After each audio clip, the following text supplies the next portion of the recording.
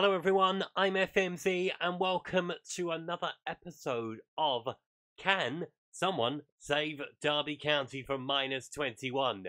Today we are looking at our first English manager to take on this challenge and it's Sam Allardyce, who has a fairly decent record at keeping sides in a division. Don't forget, if you enjoy this content, please leave a like on the video. Subscribe to the channel if you haven't done so already. Don't forget to click that notification bell to know when a new video goes up on the channel.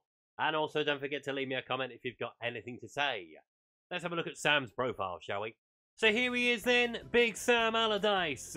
Looking at the stats, the mental stats are actually very impressive. Player management of 16, motivation of 15, level of discipline of 15, and determination of 15 as well. Good knowledge in judging player ability and judging player potential. Mental is at 16 as well in the coaching stats, as is defending at 12. So he has some of the credentials you would like to see for a man that's got to get a team back from minus 21. Let's go to the 1st of September and see where they are. First of all, we need to take a look at the signings they have bought in at the end of the transfer window. It's the first time that anybody's really done something properly in the summer window. So Bali Mumba has joined from Norwich. Nelson Mosquero has come in from Wolves. Maurizio Pochettino has joined them from Watford. And Caleb Watts has joined them on loan from Southampton. So that's a bit of transfer activity. Has it helped them out fixture-wise? So they collected four points from the opening month of the season. Wins over Peterborough and wins over Hull. Significant ones because I think they're probably going to be sides that are going to be in and around them come the end of the season. Defeats to Nottingham Forest, Middlesbrough and Huddersfield, but only by the odd goal in each game. So it's been an okay start. Where does that leave them in the league table? Currently leaves them on minus 17. Coventry in 21st place on 5 points as it stands. Obviously, with the new update for Football Manager now, Reading's points deduction has been added in there as well. So that might help us out a little bit later on, although Reading's point deduction is far less than what ours is. So taking a look at the results for September and the result from October so far. So a win over Birmingham, a win over West Brom, defeat to Stoke City, and then three draws against Sheffield United, Reading and Swansea. That is the closest we've come to an unbeaten month in quite a few managers so far. Let's take a look and see where that's left them. Moves them on to minus 8 after 11 games. Clutcher sides on nine points above them, and Coventry on seven as well. So it's been an okay start. Positive goal difference. The most wins out of the sides in the bottom five. They've even got more wins than West Brom have at this point in the season. So it's been a good start from Sam. Sadly, the momentum has come to a bit of a halt in October. Just the one win over Luton defeats to Coventry, which is a big one because they were down the bottom end of the table with them. Defeats to Blackburn, they weren't far away either. Preston, the other game that they lost. So just four points in total from the month of October. So it moves them on to minus five. Coventry and West Brom are on 13 at the moment. So it's not an unbridgeable gap at this point, but they do need to start getting some more wins on the board. So here we are at the end of November, and seven points is their reward from the month. Big win over Fulham and QPR, defeats to Barnsley and Bournemouth, and a draw with Millwall to show for their efforts. What's that done to the league position? Still bottom, but into a positive KD with two points, 16 points from safety at the moment. You have to say, after 20 games, that's probably, I think, the earliest we've ever got into positive. I think Pep Guardiola might have got there a little bit quicker than Sam, but he's doing very well so far. Christmas time is a big time for football. Let's have a look at the results from December. And they had an okay end to 2021. Five points from it. So let's see what that's done to them moves them on to seven points. West Brom are far and away now up to 31 points. Our West Bromwich Albion Coventry are the target at the moment. They are on 24 points. So they are 17 points from safety at this point, and we are past the halfway point of the season as well. They need a very good January, both in terms of results and in terms of players coming into the football club to aid the relegation fight.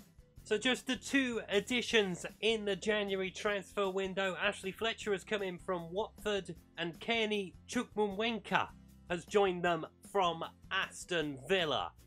So two very good players. Ashley Fletcher in particular. He does know where the goal is in the championship. Doesn't score many, but he does know where the goal is at least. Let's take a look at the fixtures. And January was okay.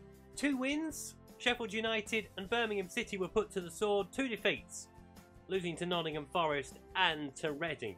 Moves them on to 13 points, 16 points from safety. I think this is probably the smallest gap we've had at this point. We've got 17 games to go. Can Sam Allardyce do what no one else has done so far and keep Derby in the championship? Not if they perform like this in February. Just the five points from the month. A win over Millwall, all they've really got to show for it. A draw with Peterborough and a draw with Middlesbrough. Defeats to Luton, defeats to Hull and to Huddersfield. Only by the odd goal though. The margins, they're so small at the moment for Derby. Bit of luck going their way will help them massively in the month of March. But let's see where that leaves them at the end of February. So they're on to 18 points. They've got 10 wins. That is more than the sides above them. Got a double what Peterborough have currently had. It's the losses that are bringing them down at the moment. And as I've said, the margins, they're so small. It's agonising to watch at the moment. 11 games to go. 11 cup finals to come. Let's see where they are at the end of March. We have it! We finally have an unbeaten month. Two wins, two draws fantastic. Admittedly, we would have hoped for four wins or at least three wins, but maybe I'm pushing my luck too much at this point. That's eight points from the month of March. Let's see where it's left them. On to 26 points with seven games left to play. They're in with a shout. They are in with a massive shout at the moment. Nine points from safety with seven games left to play. This could be it, folks. This could be the one. Can Sam Allardyce break the mould? Let's get to the end of April. And as soon as they give me a crumb of comfort, it gets taken away. Five points from the month of April, starting it with three back-to-back -back defeats. All the momentum made up in March, gone by the middle of April.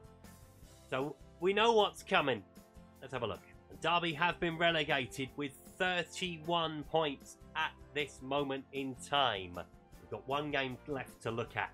Let's take a look at the final game of the season against Cardiff, where they lost at home by a goal to nil on the final day of the championship season.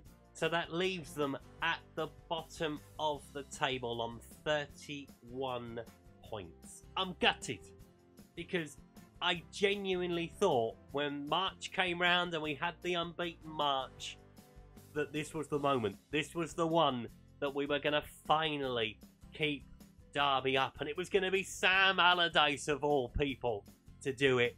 But it wasn't meant to be. 14 points from safety, so they would have comfortably stayed up had they had the 21 points back again. So let's see where that leaves Sam on the leaderboard. So it puts Sam in third place, behind Jurgen Klopp and Pep Guardiola at the top of the table. Who would have thought it, eh? I would have expected Sam to at least bimbio Ralf Rangnick, but there we are. Big Sam currently sitting third. So it leaves him in fairly decent company, doesn't it? Just behind Pep Guardiola and Jurgen Klopp. We were so close. So, so close. But alas, it wasn't meant to be for Big Sam. My question now is, who will be next? Have your say in the comments below, and we will check out another manager next time around. Can he save Derby from minus 21? Find out next time. If you've enjoyed today's video, please leave a like. If you haven't subscribed to the channel, please click that subscribe button down in the corner, and I will see you next time. Thanks for watching. Goodbye.